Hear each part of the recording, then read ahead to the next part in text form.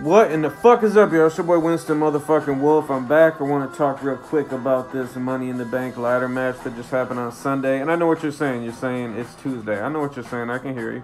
But guess what? I've been sick since Saturday and I've had to go into work. So fuck off because you're not looking at what's important. What's important is that we're spending this quality fucking time together. You and I, here, now. Appreciate it. Love it. But before I get into the actual Money in the Bank ladder match itself, um, I want to talk about Seth Rollins. And I'm just, I'm sick of this motherfucker. I've been sick of him. He just doesn't have it. His fucking promos have always been atrocious. He just tries too hard. He doesn't have that fucking it factor. He doesn't have that fucking natural, whatever the fuck it takes to make you a fucking your character's believable in wrestling. Like he has the stats down. He has the he has it.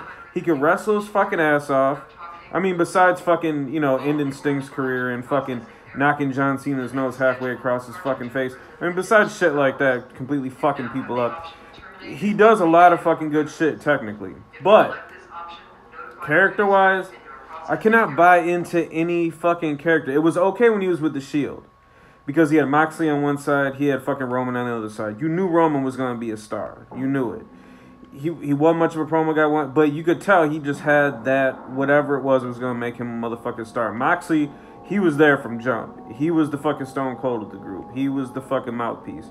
He was the fucking fire starter. He so it was okay. He he could have he got he could. There was enough talent around him for him to get lost and find his way, but he never found his fucking way and they pushed him fucking way too fucking much beyond what somebody because Russ you can sit there and say yes motherfucker's a hell of a wrestler it does not fucking matter because look at how many wrestlers have got by and become legends with zero technical ability with only the charisma and only the mic skills and only the look. So that's almost in the wrestling world having that fucking technical ability that's almost what you need the very least. You need all that other shit way more than that. But anyways, this Monday Night Messiah shit. First of all, when I first saw him doing it, heard him doing it, it just came off as hokey, and it came off as something that like Chris Jericho would say. It's like he took one of Chris Jericho's fucking catchphrases from the fucking late '90s and was like, "I'm gonna make a, I'm gonna make a character out of it."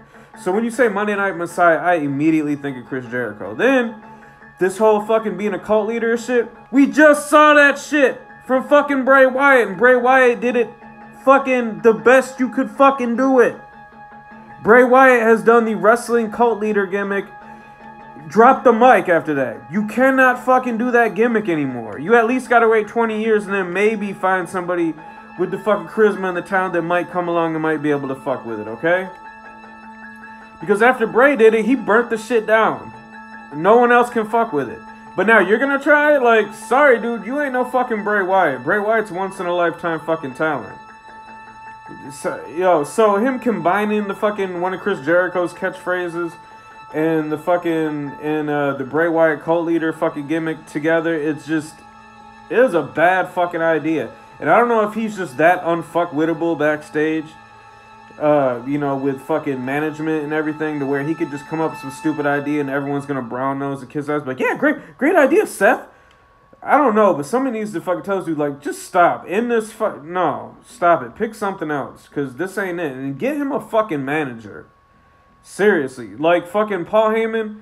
If fucking Brock leaves anytime soon, I think he would be an excellent fucking manager for Seth Rollins. He'd be just what he would need. I mean, you can say, but that's kind of stock. You can say you put fucking Paul Heyman with anybody. You can give Paul Heyman any kind of job within the wrestling. Fuck, you could have the motherfucker go sell hot dogs during the matches, and he would be the best fucking hot slanging hot dogs like a motherfucker. Pause.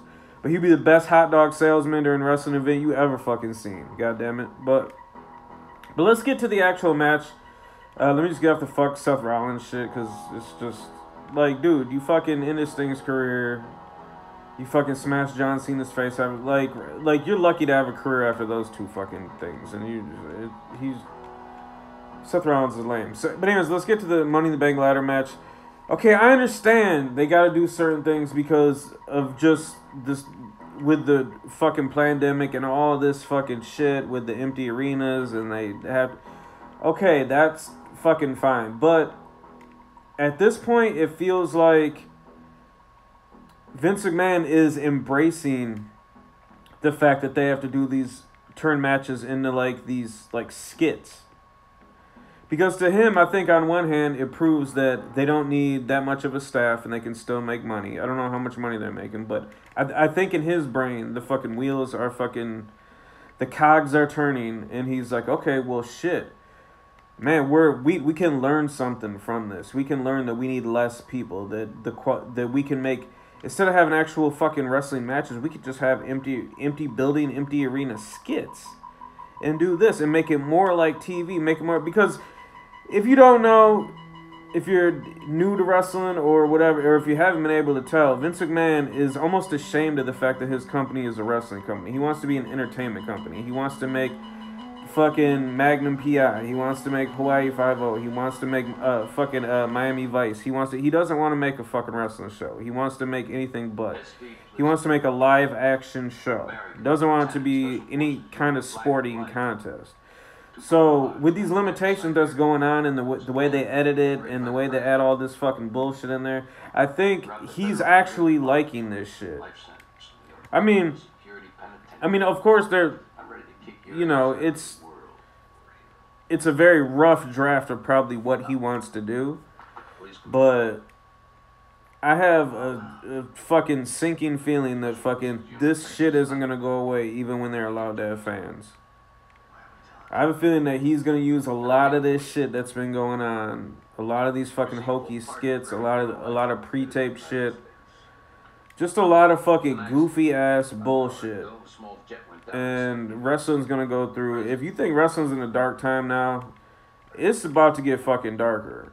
Cause you done fucking gave this motherfucker pretty much what he wants. Find the president, bring him out in Um, and what he wants is a plan to put as much cornball fucking bullshit into the matches and whatever as he can because he has the sense of humor of a fucking fucking third grader apparently. Like like like fucking he still giggles over shit jokes and shit. Vince McMahon, I'm talking about. So we're in for a fucking hell of a good time.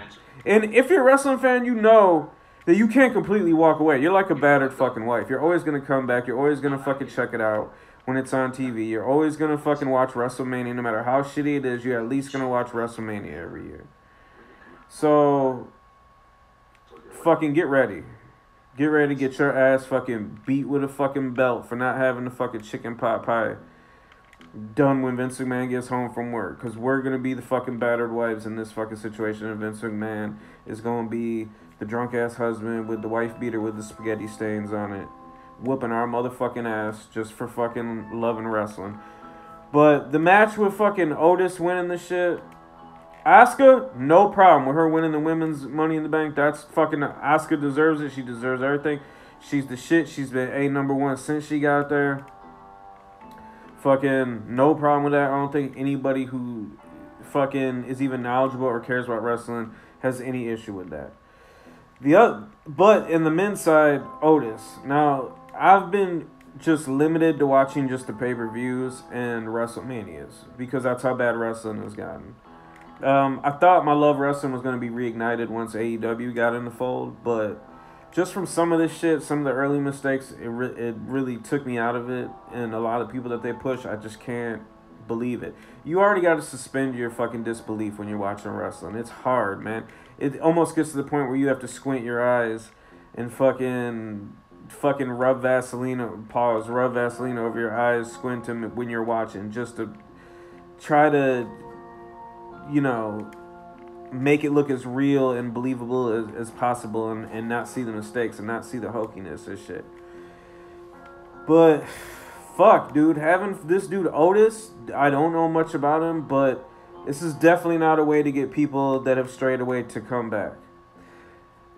Now, on one hand, you could kind of see where it's like, okay, this is, you know, people are fucking struggling in the world. You want to give them someone they can relate to, you know, the common man type of shit. Um, that might have worked with fucking Mick Foley. But Otis ain't no fucking Mick Foley. And you also watch wrestling almost as an escape. It's almost like watching fucking Marvel films or some shit like that. you you kind of want to see people that can do superhuman shit. It's like watching porn. You don't want to see the regular basic broad that you can fuck. You want to see some fucking stacked ass bitch that fucking you'd probably never be able to fuck. Some just fucking chick that's built like the fucking like uh, a a fucking slave girl from the cover of a fucking Conan comic book. Like just stacked as fuck. Like you don't want to see some regular basic bitch that works down at the at the fucking Kroger. You don't. That's come on now. So I mean, I understand maybe what the mindset was of having Otis win, but no, that's just too slovenly. Nobody's gonna look up to a fucking morbidly obese fucking dude that just fucking has food all over his beard. Nobody, there's nothing cool about that. No one's gonna want to wear the fucking t-shirt. I want to see the numbers of how many t-shirts they've sold, cause it's I, I'm shocked they probably sold even one or two t-shirts. It's just one of the most unappealing visually, fucking uh, aesthetically, fucking technically every Lee, fucking you can think of. It's no, it's no good. Having Otis fucking win that shit. And if you look at Money in the Bank, that's become like the new King of the Ring, where it's like if you win Money in the Bank, you have a good two months not to fuck it up. That's like, all right, we're gonna give you the title, but not give you the title. We're gonna give you a fucking two months, two month grace period before you actually get the title to not completely fuck it up, to not piss off a bunch of people backstage, to not injure people, to not get arrested, to not beat your wife, to not whatever. So if you can last this two months, then you get the actual match and then you get the title. It's kind of like that with King of the Ring. King of the Ring, when someone will win that tournament, you knew that was setting them up to win the world title and to have a big future. I think the first person to fuck it up and kind of put a stain on it was was Billy Gunn. But it's just he was just always known as as a fucking tag team player, and I think at that time he had a fucking drug problem. So, you know, it's and then I also think um, if you read some uh, backstage shit, Triple H didn't was kind of holding him down and shit. So what? Who the fuck knows? But this is the new King of the Ring. Fucking, if you win the Money in the Bank, we're we're gonna go with you. But but we're gonna fucking we're not gonna immediately put the title on you. We're gonna give you a couple months. We're gonna give you enough rope to hang yourself. If you don't, you're gonna get the fucking title. So hopefully this is some big ruse. But I don't, dude. I don't know. It's even him winning it. That was just like you watching the pay per view.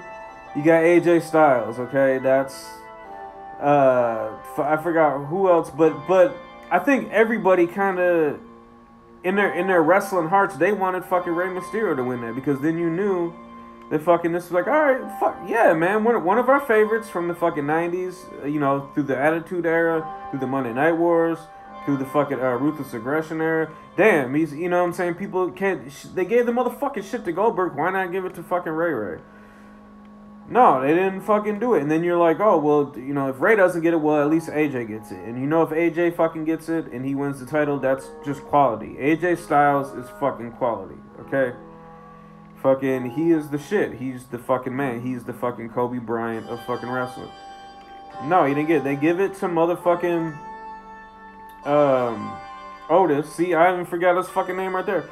But somebody else that was in the fucking Money in the Bank ladder match that I like, that along with Bray Wyatt's new character, along with AJ Styles, along with Shinsuke, even though they're fucking fucking his career up, is Aleister Black. I really fucking like Aleister Black. When I first saw him, I didn't like it, but he quickly grew on me with his wrestling style, with his gimmick.